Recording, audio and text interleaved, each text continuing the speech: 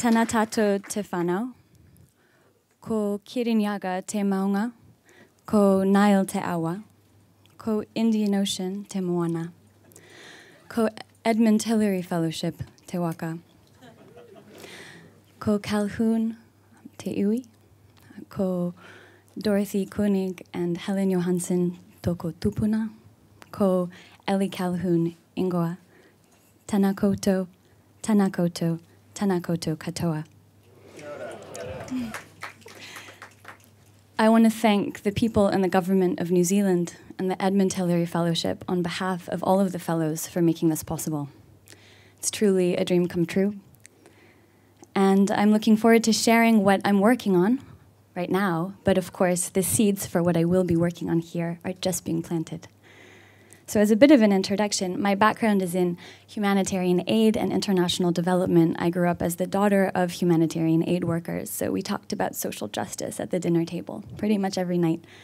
And I'm really grateful for that. It gave me a strong awareness of disparity and of the impact that unequal systems have on health, on education, on people's futures, and a strong desire to disrupt those systems and make better ones, because these systems are agreements between us all. So, one of the things I love to do is use tools to amplify change, and technology is exactly that. So, um, over the course of the last 10 years, I've been privileged to work with UN organizations, governments from sub Saharan Africa and the Middle East, and a range of partners to amplify really amazing solutions for change. They aren't my solutions, I didn't invent them, but I, I am um, able to listen and able to create platforms and co create with a wide range of stakeholders. So I'm going to take you through a quick tour of what those are. Um, and of course, these are some of the principles that we've come up with to not fail so much when we try to do that. There's a tremendous amount of, of failure to listen in many industries that are trying to help people. Uh, and I think that's a really important thing to acknowledge. The other thing I want to point out is open source. You're going to hear me talk a lot about free and open and how these solutions that we scale are free and open. And that's one of the things that we really think social change should be open sourced and available to all. So um, these are my stakeholders. Uh, I built them an app. Well, many of us built them an app, um, but they're members of self-help groups, and, and these are members of self-help groups in Kongwa District in Tanzania. It's a food insecure region, but it turns out, well, first of all, it turns out microfinance is actually really terrible for the poorest of the poor. It's an amazing intervention um, when you're ready for it at a certain socioeconomic level, but receiving external capital involves risk and collateral, and that is really not appropriate for the poorest of the poor.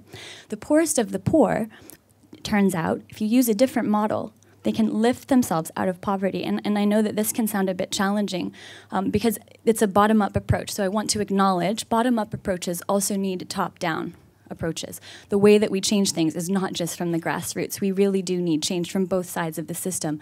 But turns out self help groups are different than microfinance in a few key ways. Namely, there's no external capital. These mostly women, although they do let some men in because they really want in, so sometimes they're like, all right, you can come, but only one of you. They've saved together meager amounts of money. But over time, that grows, and that capital is what propels their business. And they stay together over decades.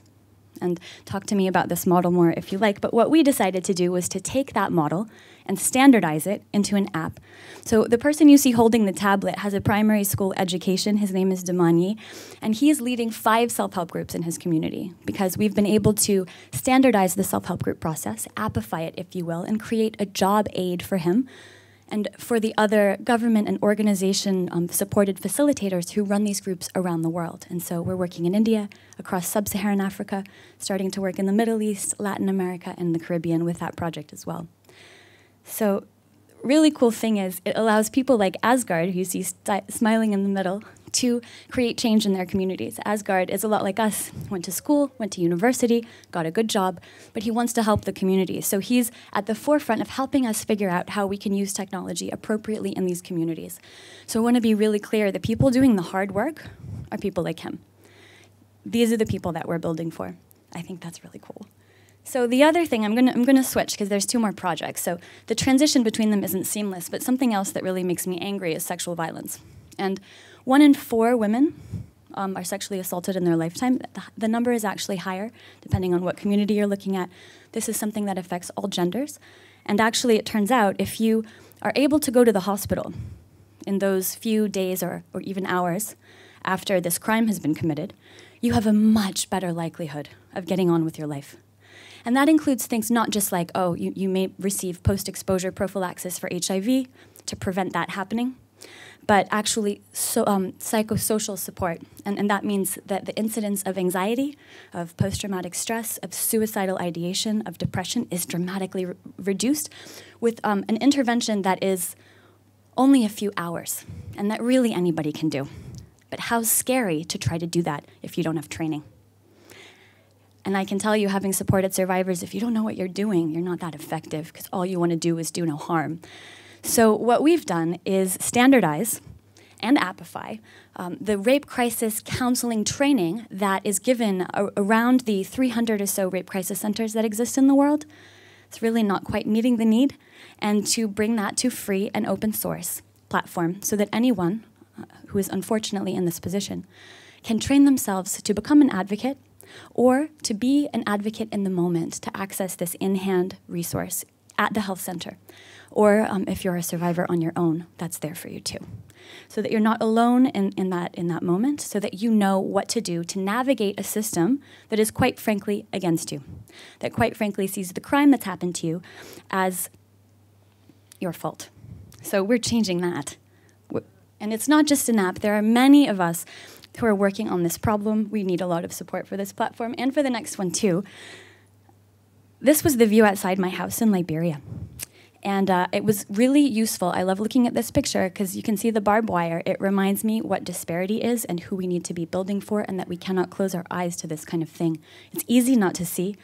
We started a social enterprise in Liberia. That's my house under the tree. We did live in a little tent every weekend for a couple of years. But it wasn't enough to try to do community led ecotourism businesses because what happened was Ebola. It destroyed everybody's hard work after a decade plus of civil war. And that was awful for everybody, but especially for the people there who had already been through so much. So, um, a good friend of mine created a culturally appropriate group trauma intervention with no drugs, no therapy, no what happened to you, tell me what happened, none of that. It is over 80% effective at reducing symptoms of post traumatic stress and depression. People are going back to work, people are reducing drug dependency. The effects are amazing, but it's really hard to get support for this kind of platform. So it's one of the things I'm grounding here. And I wanted to just say thank you so much to everyone for bringing me here. I wanted to close by saying we'll be basing ourselves in Te Hiku in the far north and to see what seeds grow from there. Kia ora.